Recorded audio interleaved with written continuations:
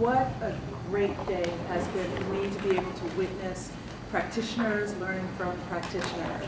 Um, there were some exciting things um, happening in the, in the classrooms where teachers were really learning how to explore in the way that our children explore. And, and so this quote was part of an email that went around the administrative team. And I just thought it was interesting, um, and I want to share it with you. In 2015, Uber, the world's largest taxi cab company, owns no vehicles.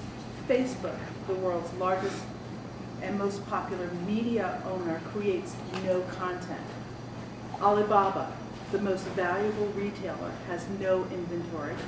And Airbnb, the world's largest accommodation provider, owns no real estate.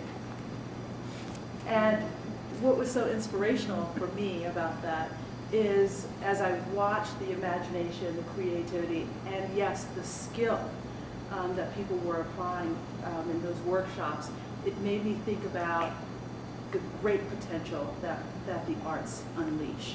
And with that said, I am going to be quiet because I think we have some wonderful learning that we can do together in this forum.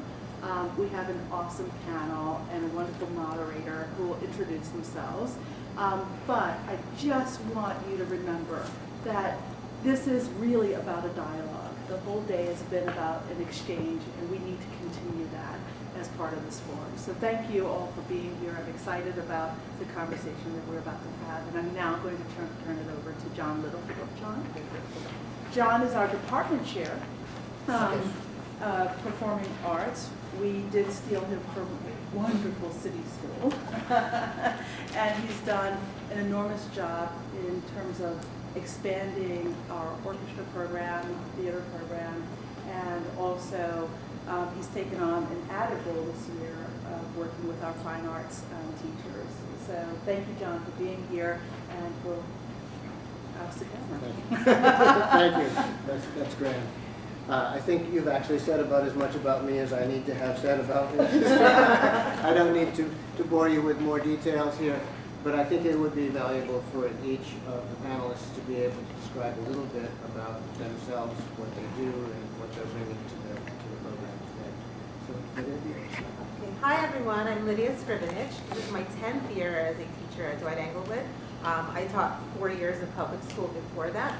I teach grades 6 through ninth grade, um, designated as a middle school visual arts teacher, which means I teach all of the sixth graders, seventh graders, and the eighth grade class, which is an elective class in our middle school. Um, and Kit? Hi, uh, Kit Sailer. I am a teaching artist, which is different than an art teacher. um, I have experience teaching every age from pre-K up to people in their 80s. Uh, I teach um, I teach adults in Summit at the Visual Arts Center of New Jersey. Uh, I do uh, artists and education grants, residencies through the State Council of the Arts. Uh, Arts Horizons has given me some really wonderful opportunities. Oh, and I teach ATI oil painting, which is the highlight of my year. Every year teaching the teachers because they're fabulous. They're really wonderful to work with. And I'm a painter, by the way. Uh, My name is Michael Shannon, and uh, most of my uh, time is spent uh, running a uh, small foundation, the Northern New Jersey Community Foundation. And in that regard, on the piano there, there there's uh, some single sheets of paper, if you're interested about an initiative that we're getting underway with and enjoying the uh, association and support of the County Department of Historic and Cultural Affairs, whose director is Cynthia Forster, who is with us today. Uh, But this is Arts Bergen, which is a new arts council for Bergen County. Uh, And so it, it, all of the questions we'll be discussing are very much questions that we hope to help answer, whatever. So, um, I'm- and my art background is, I, I, I am an artist, uh, not really a professional working artist, but I, I do it. Um, And professionally, in my career for 35 years, I was an industrial designer in the furniture business. So I'm a I'm a furniture designer uh, by training, and uh, design is my, of what I think about all the time. So, we're in this environment where we have artists who are able to teach artists. We have an opportunity for dialogue between people who are all involved in this field. And there's a set set of questions that we wanted to address. There's probably enough uh, material in any one of these questions for us to spend a week sequestered in this room talking about each of the one individually.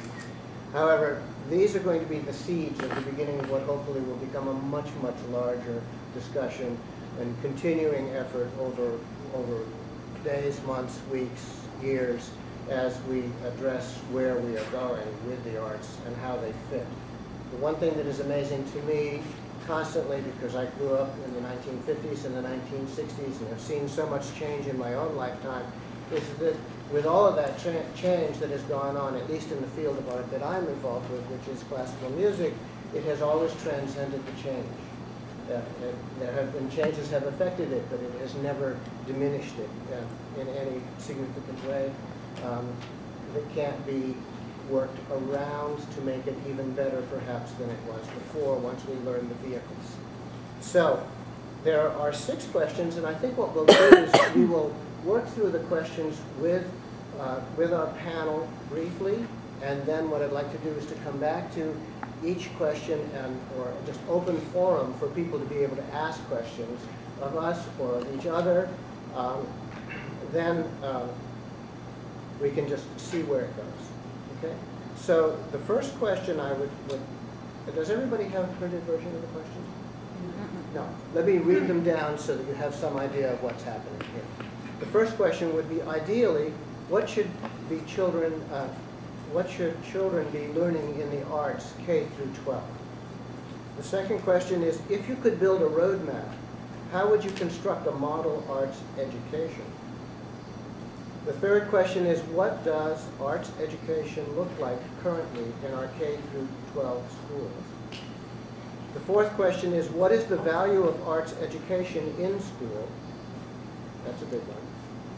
How do we, the fifth question is, how do we leverage the arts to build other important skills, including design, thinking, and problem solving?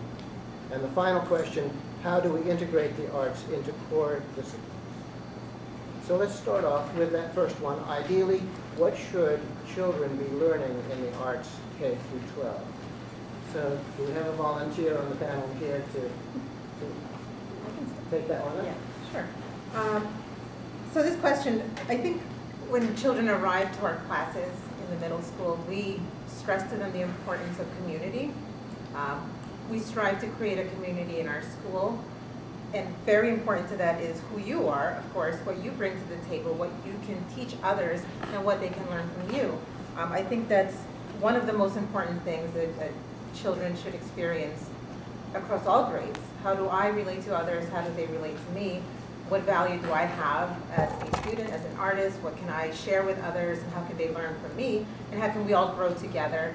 Um, but I think that we really emphasize that and it helps us create a climate in our classroom that is open and free for expression and it's not intimidating. It's somewhere the kids look forward to being and sharing um, and being themselves.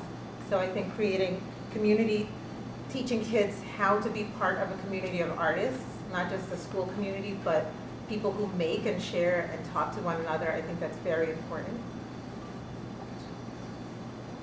Um, I think that the, sort of the um, broader exposure to the arts is extremely important. That every child has some knowledge of music, some knowledge of visual art, some knowledge of dance, some knowledge of creative writing, because those things sort of stay with us our whole lives. You know, who doesn't listen to music?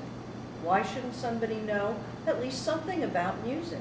We look, you're in the, in the, in- you did industrial design, you know, we touch things. Why should they not have some idea about how that affects us? They don't have to go into it as a profession, but everybody should know something about those things. you're right. Next question. And I'm just going to add in, even though I'm not a panelist, that I've always felt that it was critical, if people are going to know the difference between Shakespeare and Joyce, they should know the difference between Stravinsky and Beethoven. Uh, And I think that goes all the way to Van Gogh and Renoir, et cetera, et cetera. And I'll say between a chair and a sofa. Yeah. Okay. So, uh, well, what should children be learning? I- I'm going to take kind of a a more political and global view uh, and answer again, as John said, just a week. Um, But uh, I believe, progressive as I am, that, that in this country, uh, because uh, education reflects the value of cultures, and because our culture is oriented toward money and economics, and not really toward the business of being uh, human, uh, that our education process is turned around. I think the art should be at the beginning, and how to get a job and be an obedient citizen secondary. Uh, So the way it's set up is we have what, which we do pretty well with curriculum. We have how, which is what pedagogy is all about. The art's about why. Uh, Why are we? Why do we exist? Who are we? Uh, Getting back to Socrates saying, know thyself. Art is the way you come out and you emerge into the world, you present yourself. It's not because you do math well or can write an essay, but I think people have to begin their lives with being encouraged to know themselves, uh, and then later, the skills and the knowledge, I think, come, will, will come to people. Uh, So you- we- in our, in our thing, we do, we focus on the what and the how, and the why is sort of a secondary, forgotten consideration. I think you should just be reversed. And does it not make sense that as long as we have the New York Times having an arts and leisure section, that that means it is part of our culture? If it's going to be part of our culture, we should be aware of it in the same way that we're aware of what's going on scientifically and politically and in every other way. It's part of the full human experience. Okay, let's go on to question number two. If you could build a roadmap, how would you construct a model arts education? Which will work right down the line. Okay. This was working. Um, well, I don't know if mine would be necessarily a roadmap, but I guess if you're starting from K and going through 12, I think, like I mentioned before, learning how to be with other artists is very important and learning how to communicate about your art and communicate about other people's art is very important. Like you mentioned before, learning what different things are out there and how to effectively critique and talk about. Um, when you go into a museum, I think that's important and be able to speak about things that you've seen and experienced. So that might be like one starting point, but I think my other starting points go with that. Um, obviously, there are skills in painting and drawing and the elements and principles of design that kids should really know. Um, there's a phrase, you have to learn something before you can unlearn it. So I think in a model arts education uh, system, there would be a place where you can learn all of that, but then you have free opportunities too, where you can unlearn and just explore and, and try different things. Um, and I think that's one of the things I love about where I teach. There's the elective courses that children can sign up for and be, you know, they're themselves.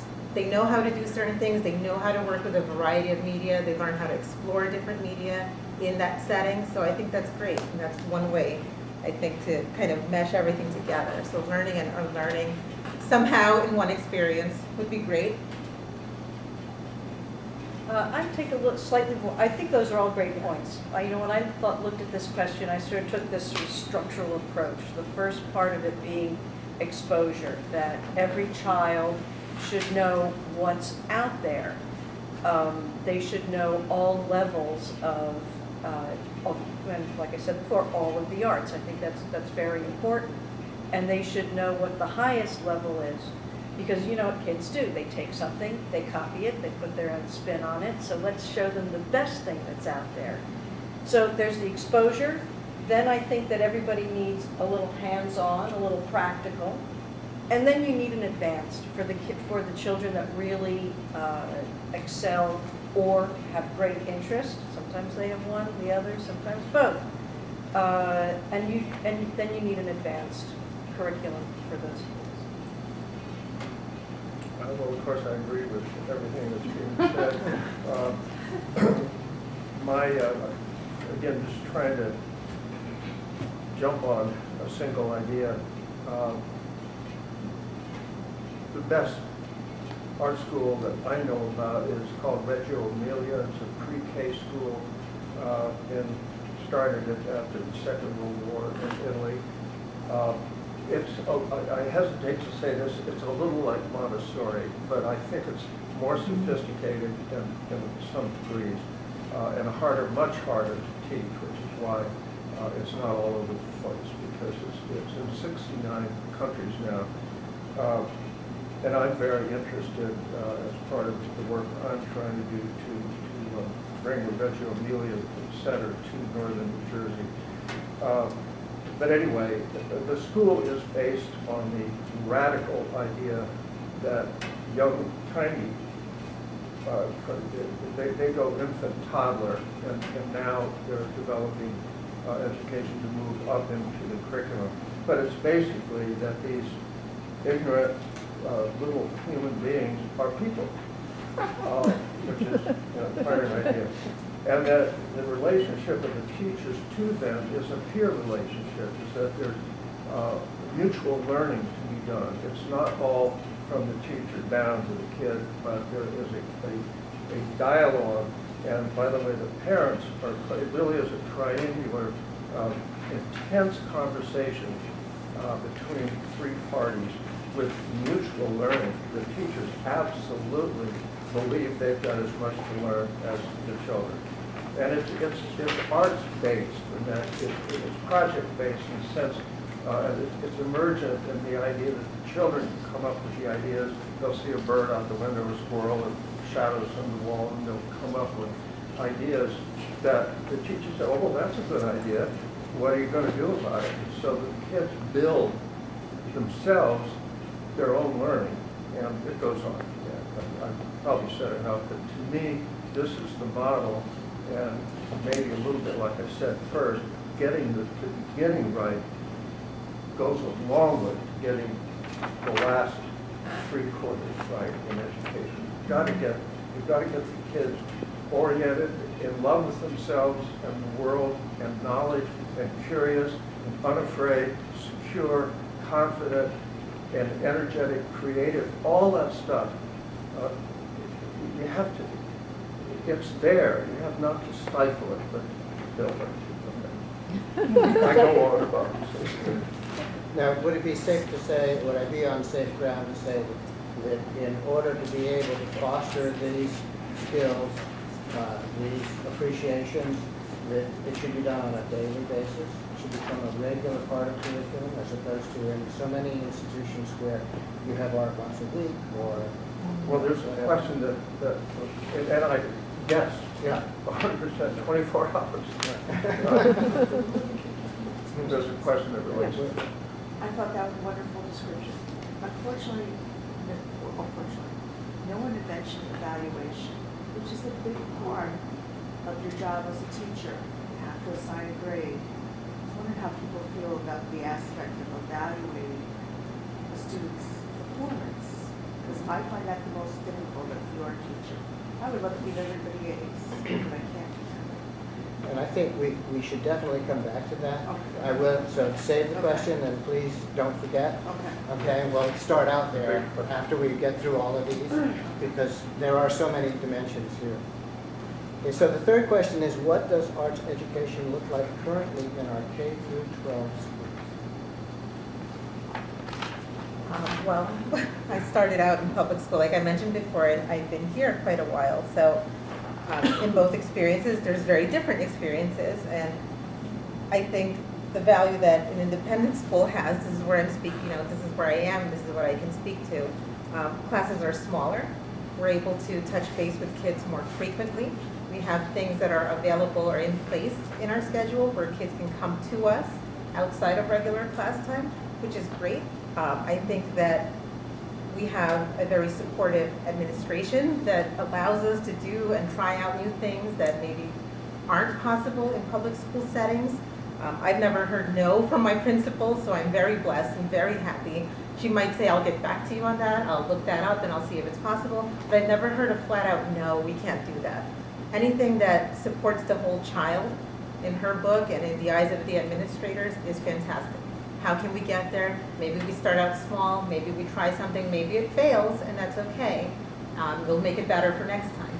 So I think I'm very blessed to be in a situation where I can explore with my colleague um, different ways of teaching, um, different courses, different ideas, introducing different materials, and having club settings where kids can come and go. And it's always something that's important to everyone in the school. It's not just something that's an aside. And we're actually working on making it even better. Um, so it's not finished. Our work is not done. It's never like, you know, this is it, we've arrived. So we're constantly coming up with new ways and new things and new media, new techniques, new people that can come in and visit and speak with kids. So I, I'm very fortunate. Uh, I can contrast a couple of schools that I this year. Uh, I just finished up a six-week residency at a pre-K to second grade school in Weehawken, where the, where the, the, the school board funds an artist to come in for six weeks and do a project with every child in the school. And there's a fabulous budget involved. I get paid a professional wage. I love doing it. The kids are great. We get to sort of imagine, you know, oh, let's do this, let's do that. And it's, it's very stimulating to design that program, especially for somebody like who's four. Uh, and that's great. And the project is wonderful. And, you know, they're kids. Some of them are, participate more than others. Then I'm doing a, a residency at an elementary school in Newark. I'm working with sixth and eighth graders to do a 700 square foot mural. Uh, They don't offer art to fifth, sixth, seventh, and eighth graders at that school. It's only in the younger grades. And I feel really terrible, this teacher's like, oh, we're so happy you're here because the kids really want to do this, and this gives them an opportunity. This is a school that has made an, an effort to get a grant from the state to bring somebody in to do something special. So this is one of the good schools, and they only offer it up to the fourth grade. I've been in schools where a child comes into the artwork, and I'm sure you all know that, oh, my teacher wants some paper to do something. This girl was asking for some green paper, and the art teacher had to turn to her and say, sweetie, we haven't had green paper in three years. So it's, there's just, there, the, the, there's so many different levels of um, opportunity that's out there, you know, within ten miles of each other. It's striking. Um, That speaks to the value issue uh, in the society. Um, So what, what I would say, again, um, sounds like it's kind of polemic that I'm using this as kind of an excuse. Um, K-12 art as taught in our school system is separate. It's a separate class, almost by definition.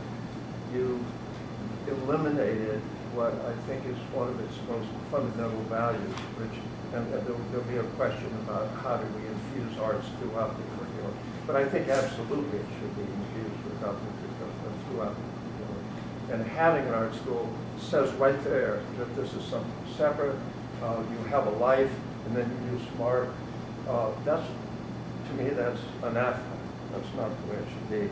So, uh, and, and it occurs, just as Kent was saying, uh, in a, uh, the kids sense the challenge uh, for the teachers. They, they sense there's something mysteriously uh, wrong with the arts because of the way, I mean, they have eyes and ears and they can feel these things as though art is in some way subversive or out there, uh, sort of weird or something. Uh, so I, I'm, I'm exaggerating, obviously. But there is that, there is that tension. uh, between, you've got to get the curriculum, you know, the test, mean, I'm being judged as a teacher, so I just don't have time for that, I'm sorry, Uh, there it is. So, uh, some great schools, but some problems. That's, that's kind of the way I'm going to keep sounding, I'm sorry. I think the answer to the question is that that are inconsistencies. That we as a culture do not Yeah. have a consistent commitment. Because the, the message from up there is so mixed Sure. and so confused. Well, isn't, isn't it a little ironic that we have never had a president since Kennedy who was really a proponent of the arts, and actually it was his wife? You know. Well, that's, that's a very good point. Right. They're lawyers. Right, exactly. So, so the emphasis in our culture and, and in our media uh, tends not to go toward the dark that we're talking about. But they're making money. So what is the value of arts education in school? Let's start at the other end this time. and then work backward. Oh, I need time to warm up. Oh. I thought you were already starting on that one. So, I can yeah, start. well, yeah. I'll start, I'll start. Okay. Um, uh, I think that the arts are, are, are really important to kids because uh, they, it allows them to have success without knowing the right answer. I mean, really, when it comes right down to it, that's probably, for me, the most important thing.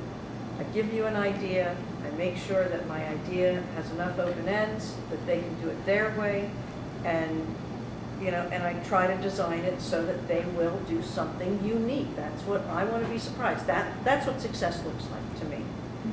Uh, And to have a child who can do that and can turn around and maybe look at a math problem that they don't necessarily understand, but they can maybe understand that it doesn't, they can come up with their own way around it if they have to. Or they can discover that they can apply critical thinking. I mean, I really think that arts is, is, is so important to different ways of thinking and to becoming an individual, and to being creative in all of your pursuits, no matter what you go into. It's very, Um, I, I don't know how many of us are visual artists in the audience. Okay. I've been involved in my drawings and paintings and thinking to myself, that line just says what I wanted, wanted it to say, without it saying anything, without it having spoken to anyone or having any words. Um, I think that's one of the main values of not just visual, but performing arts. That spoken word piece can say what I want it to say, but without the traditional language that I would have said it in, in another setting. So there's something about arts where you can express yourself in a way that you can't in other places.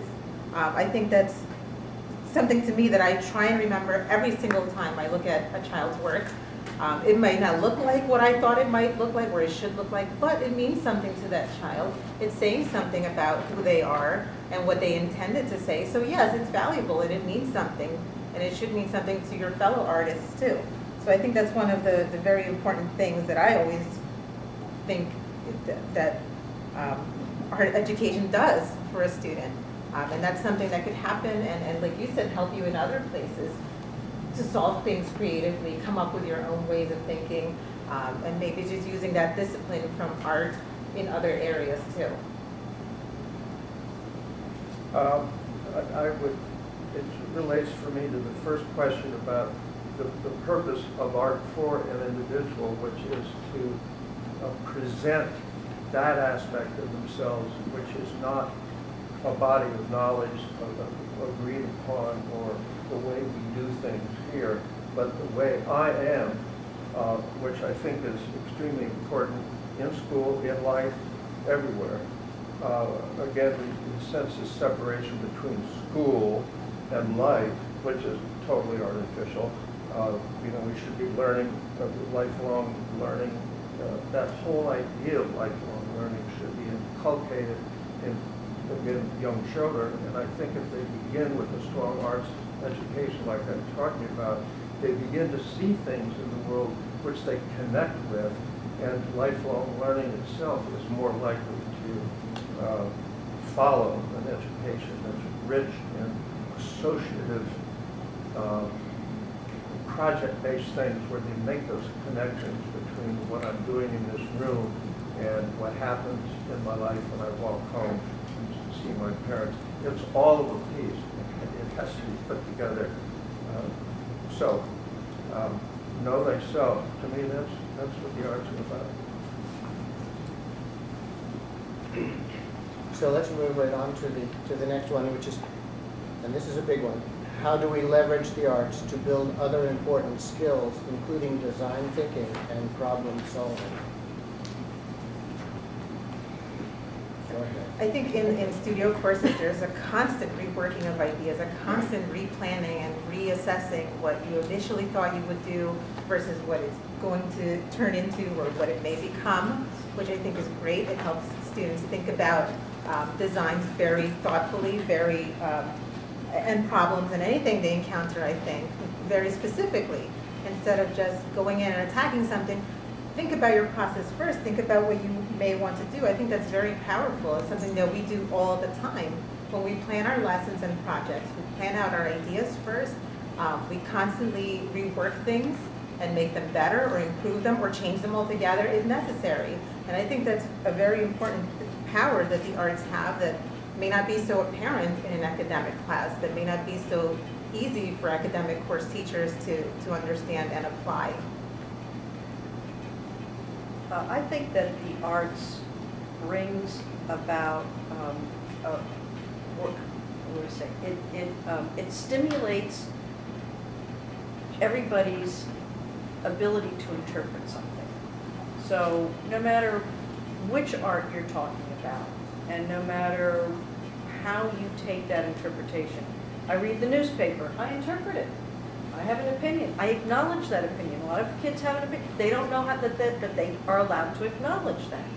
So they interpret, they, they take it in, they interpret it, they acknowledge it, and they have their own idea. And I think that that is really, really important for um, everybody. Adults can learn to do that too. but Be reminded to do that.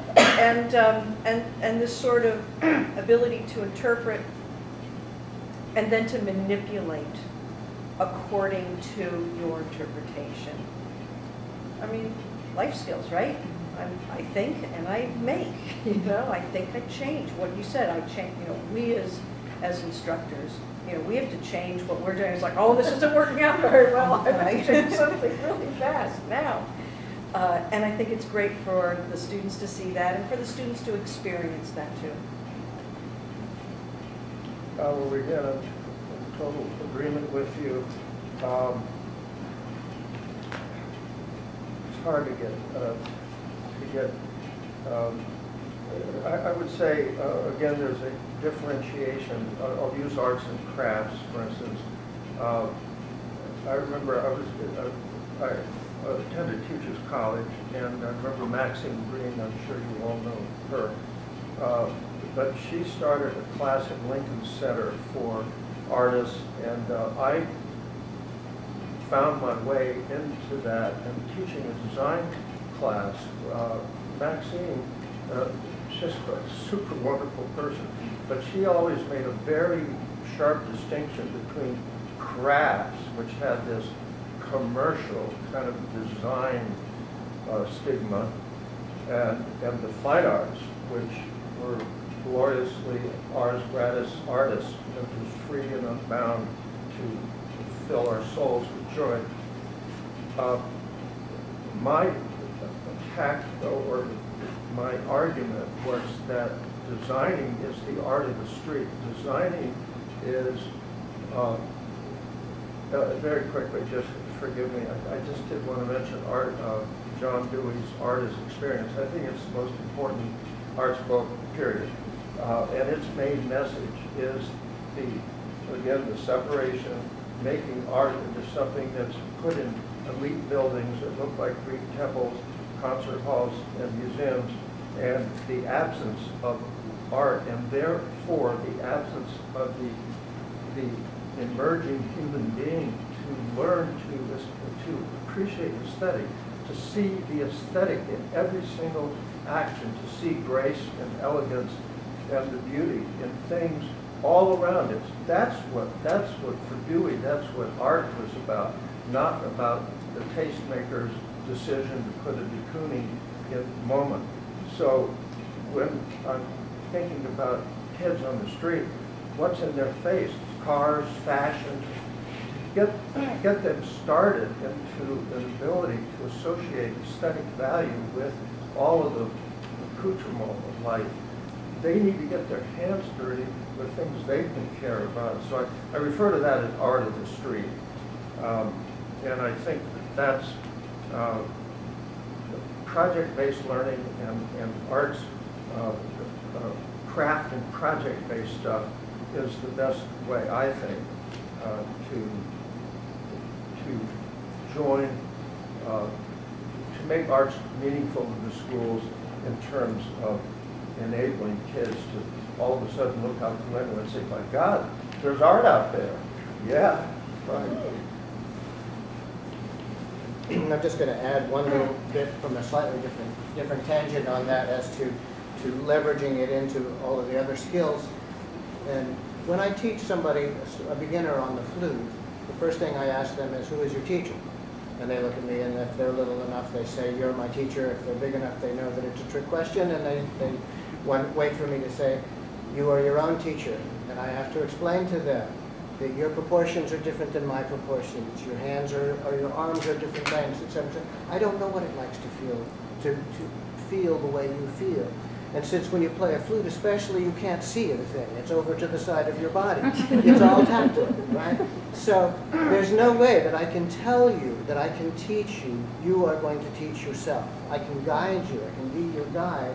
And so the process of art for me has, is also analogous to almost every other subject because in reality, in everything, we are our own teachers. But this is a prime opportunity to be able to see immediate results of what you have taught yourself. And so that, that works for me in the problem solving and the thinking and all of that other process that goes into all of full education. So let's go on to that final question, and then we'll open up the floor to a forum. How do we integrate the arts into core disciplines?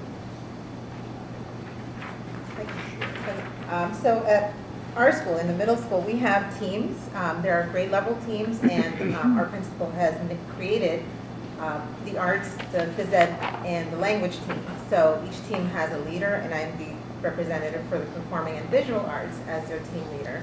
Um, so we sit at a table, literally a round table, and everybody just talks about what is going on in their grade and their classes. Um, we look for opportunities where we can kind of say like, oh, you're doing that. Why don't you talk to me about it? I'll get back to you and I'll show you some stuff that I have related to that. Um, I can help you and guide you if you need me to come in and talk to your class about how to start a project. That's great. So we constantly talk to each other. Um, I think you need to have that table though. You need to have that setting where you can have somebody speaking on behalf of or for your arts courses. Um, and I think that's something that's been a tremendous help and it's we're not perfect, we're not doing everything that I think that we could do, but we've started to. And I think that's very important. And I, I think it's helped too, um, my, our, our colleagues, Rachel's one of my colleagues, and our other colleagues presented a workshop to all the uh, middle school art teachers about the elements and principles of design, how to start an art piece, um, things to look for that will help you, references. Um, we actually made art with them, so we walked them through the process of it and how we would start a project. So all of those things should help an academic teacher who may not feel so readily inclined to look at, you know, a project as a real art project and say, maybe I have some questions for Lydia or Rachel or one of the art teachers. Maybe I can invite someone to come speak to my class. So those conversations help to start integrating art into the core disciplines. And it's not always easy, but, you know, we're at the beginning stages and we're getting better at it and we keep working forward from there. Some of my most successful projects have been done with, pardon me, where the, where the project is actually designed with a number of people.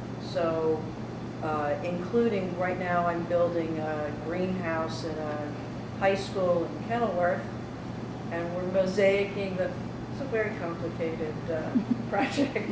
But the science teacher, whose hobby is hybridizing daylilies, has worked with us like, oh, and then we can put in a butterfly garden, and I can help the kids, and we're gonna hybridize the, plant the things that'll bring the butterflies in, in the greenhouse. So if, if somebody just asked me to come into the school and say, what would you like to do with the students?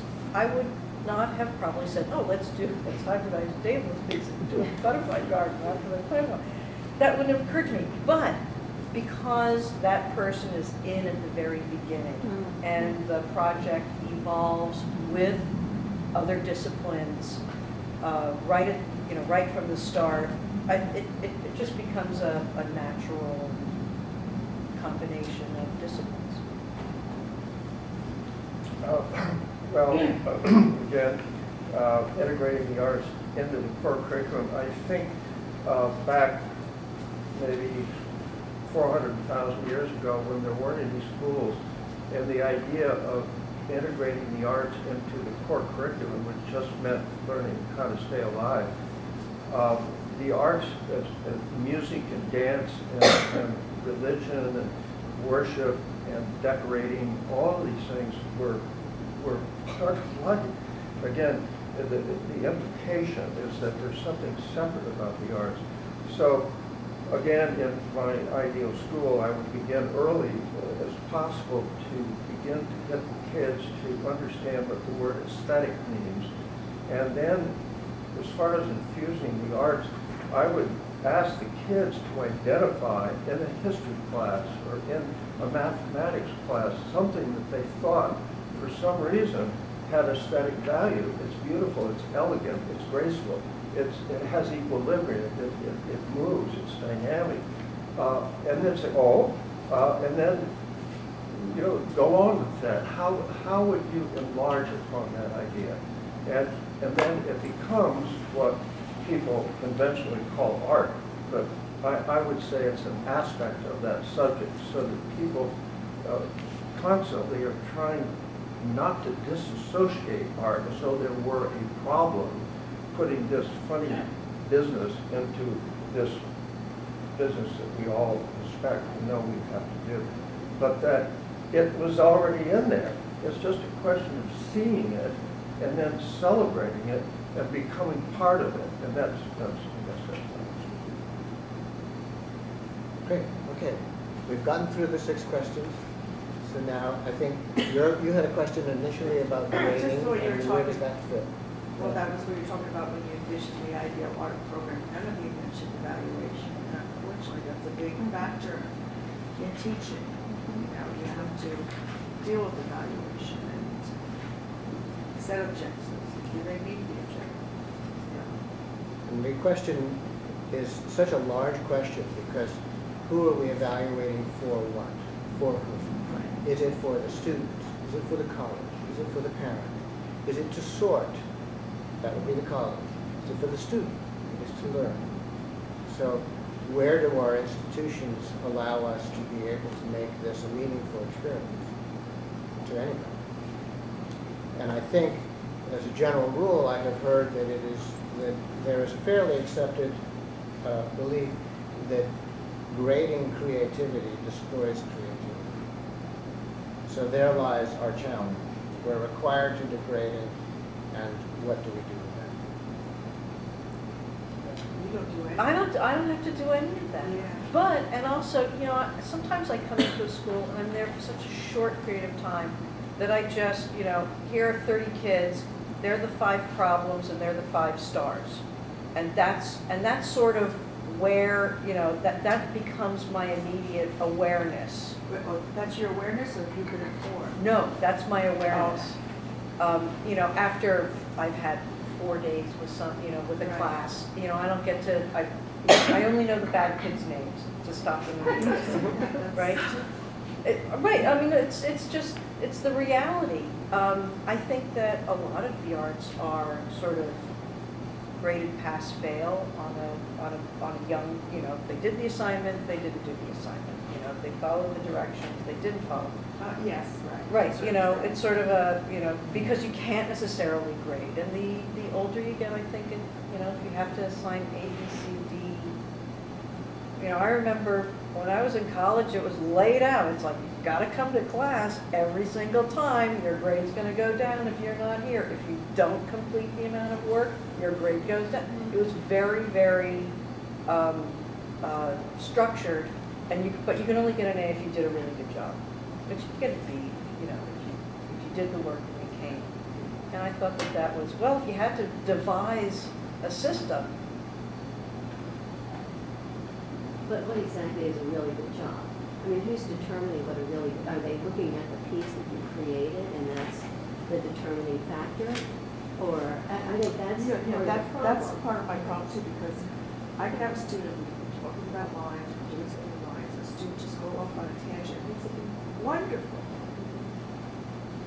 But realistically, they didn't meet my, the objectives of the lesson, you know what I'm saying? They have to spend it, It is, it's, it's Turmoil, difficult, you know? and you know, and I think it's just one of those things like, you know, you could be the same worker and have a boss that you connect with, or a boss that you don't connect with, and be doing the exact same. I, I, you know, I think it's a tough reality, I don't know if there's any way around it, you know?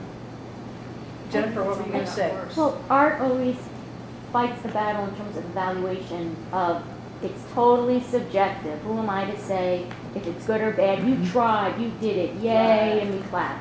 But then there's the other side of it, which is, and I don't know much about music, but you know, if you see the movie Whiplash, no? Yes. You should see it. It's about a, um, a music student in a music school. And it's like no matter how much effort he puts forth, he's like, I don't care about your confidence in yourself. I care about you playing this piece correctly. And there is an aspect of the high fine arts and aesthetics that is about that. You know, it's not about whether or not you felt you did a good job. You didn't do the choreography that I taught you. So in a school context, it's, it's like how do you always balance those things between like you want to encourage them and they did effort and they tried, but then art is all about freedom within constraints. And and how you, use that, you set Pitt sets that up all the time, Yeah, right? so- So, you know, there was, of course, the, did they improve over the period of time? Did they, were they there? Did they do the work? Did they improve? Did they try hard? I mean, those things, you, you see that. You know when somebody tries hard, you know, you know Right. when there's a breakthrough, when some kid doesn't do the homework, doesn't do the homework, finally does the homework, and I was like, oh my gosh, the world has opened up and they got Yes, so many ideas.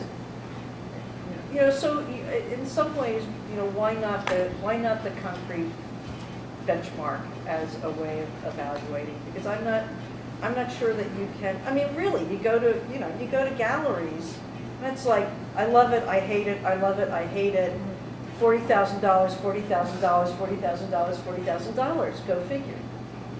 Well, that's it. All right, I'll just jump in. I mean, that's the total artificiality of the whole thing. The arts bring out the very worst uh, uh, for this kind of misconstruing the purpose of teaching. Uh, it- It's, uh, this idea of discipline, this idea of following directions, all that's very important. I, I guess I would, I would start out early in school and say, okay, kids, we're in school, uh, there are rules. And, and we're gonna, we're gonna have some grades at the end of this thing, but I want you to know what we're gonna be grading on. And then lay out, it's, it's showing up for class. It's listening to me very carefully, maybe even saying back to me what I want you to do. And if you don't want to do it, you can explain what you'd rather do, and we'll talk about it. But set up some, some things that have to do with kind of administrative criteria. But when you get to the point of saying, uh, is it beautiful or not? Does it, not saying if it's- well, does it look like a horse? Uh, you know, some- Someone, does this fabulous uh, Arabian thing, and someone does it, uh, you know, they, they get an A and they get, you know, that, that's where you just, I think, have, uh, that sort of evaluation doesn't belong in- in art. I'll, I'll just say parenthetically, one thing I love about design uh, as a uh, project-based education is that the, the teacher, if you're teaching, if, if you've got kids and the assignment is to make a, a little car, a rubber band powered car that will go from here to there uh, in a certain amount of time, it either does or it doesn't. I mean, it's pragmatic, it works or it doesn't. And it's, it's so beautiful because the kid, that, you know, it's not mommy or daddy or the teacher or something. It's Mother Nature, and it's a wonderful thing for them to put themselves in the position where their, their teacher, in effect, is Mother Nature. And it, it worked. Uh, Hey, you know, that's fabulous, or it didn't. And, well, what do you do then? You go back and you make it work, that sort of thing. So design has that wonderful, um, engaging quality that just brings out the best. But, but aesthetics, as far as judging art, I just, art competitions for three, third graders is just, I just think, save the children. Um, For probably two years in a row, and hopefully they won't do it again, uh, the Bergen Community College has run a a sustainability contest, so to speak, of uh, kids coming in and how best can you use uh, your plastic bottles to make something, all right? It's a nice concept, all right? It helps the environment. I was judging this, but then myself even set it up. And invariably, I mean, you're, you're talking about, uh, kids want to know whether they're first or second in this, or whether they're third or fourth, or it goes back. But then you get the parents involved. And, and it's, right? And I mean, and, and remember, and I taught uh, years ago, you know, I, I was an English teacher, so it's the poetry, everything else, you know, but, um, you know, it was quite obvious that this third grader never built this little ship out of plastic bottles that you can make go over the water because you put some plastic, uh, you, know, you put some uh, bands on it, et cetera. But, oh my God, you know, if the kid didn't get the first, first place in this, this Right. contest, you know, all hell breaks loose, right? So if you, if you say, well, it's really clever how this guy made this thing that propels through the water, but I think his parent did, you can be backed up by the other people. Mhm. And you, and they might, and the, so it becomes a discussion when you have to, when you have to rank it. Maybe you feel that way, or the other two people say, no, no, no, it's just too clever, we have to give it first. And then you bow to them. Mhm. And, you know, you don't have to take the pressure on yourself.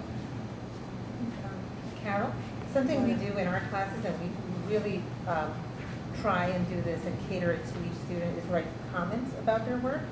Um, So they have a sketchbook, and we comment on their work. It's not a letter grade, but it's a summary of what you did well, um, something you could have improved on, um, and something maybe to do next time. And so they understand that it's not, here's a letter, and there you go. You did all these things in your sketchbook, and it just means a letter. So it has meaning attached to it for them.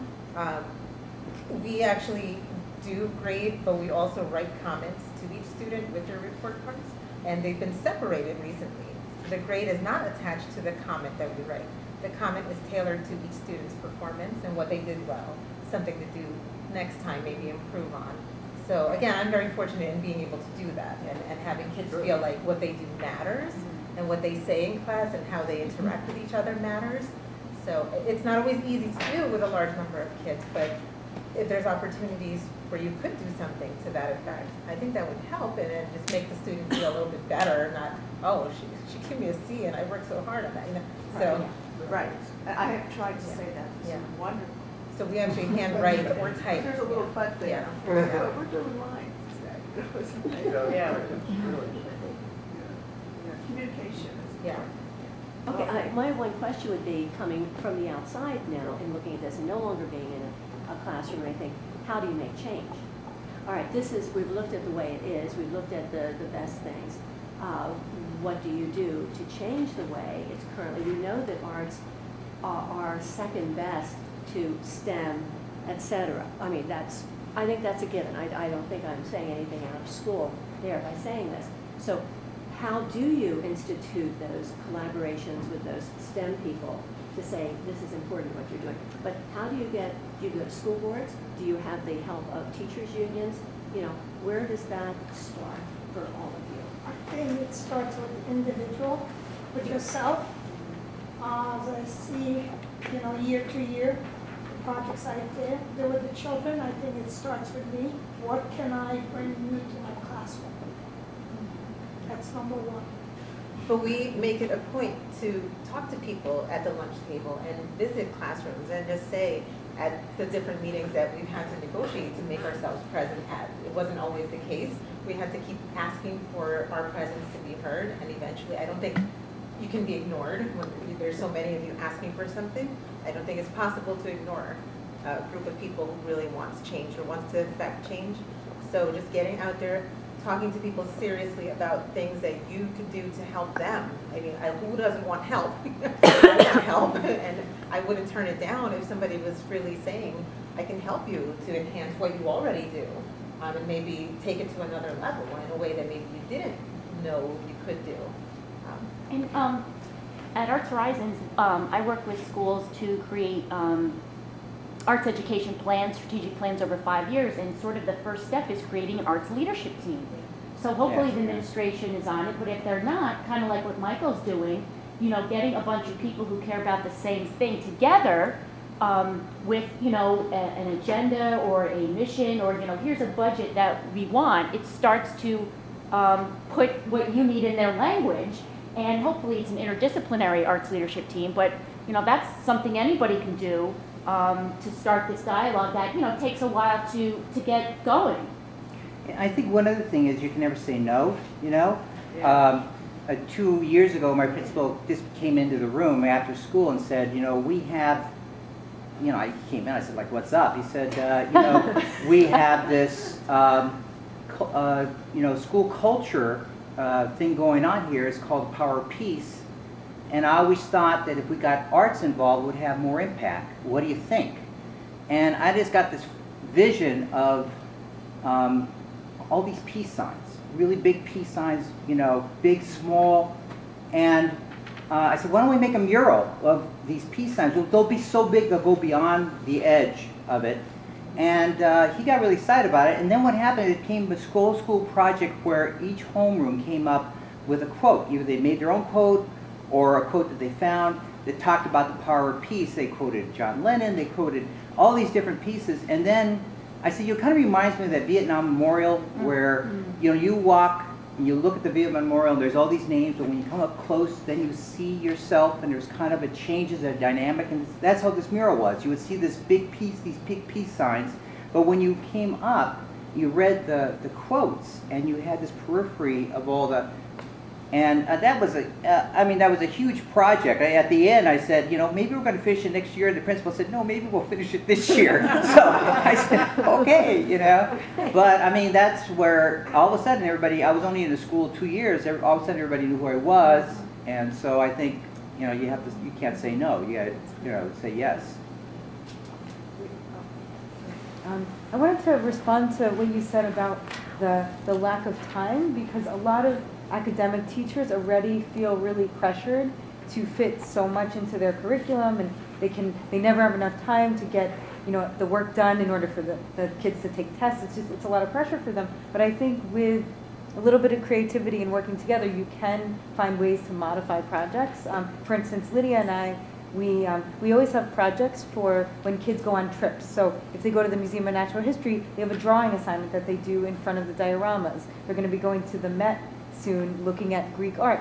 So we have an assignment that ties together what we're teaching them in class with the curriculum. Uh, something that I started doing last year with a teacher, which really ended up taking just two class periods, was um, to go along with the Greek, um, the ancient Greek pottery um, part of his unit. I actually had them making red clay pottery pieces in class and designing their own images using um, different Greek keys, figures from Greek history, and painting it on the pottery. And in order to help the teacher get the project done in just a couple periods, I made an instructional video. And now here, you know, we're fortunate because we have iPads in the middle school, but um, you know, within a few hours, I figured out like how to write a script and kind of go through the whole process so that the kids could watch the video the night before, sort of a flipped classroom model, and then come in and kind of be ready. And the teacher and I, we met after school, we made the clay balls, we kind of prepped everything, but um, within two 45-minute periods, they were able to make a whole Greek pot, paint it, and then they presented it later at something we have here called Greek Day, where all different teachers from different disciplines get together and they have the kids do all kinds of activities like um, construction challenges based on ancient Greek, Greek history and ancient games. So that's just one example, but I think with a little bit of work and maybe giving kids that they can do at home to prepare them, you can do some pro- really fun and interesting projects. I hate to, um, to, to tie, tie up the formal part of this, but I, I think it's great that everybody can stay for a bit. There's no reason for anybody to, to move on and to continue, continue your dialogue and your discussion. And Unfortunately, I have to be at another location in, in the middle of Manhattan oh. 35 Good minutes luck. Oh at another meeting. so Thank you very much. Thank you so much.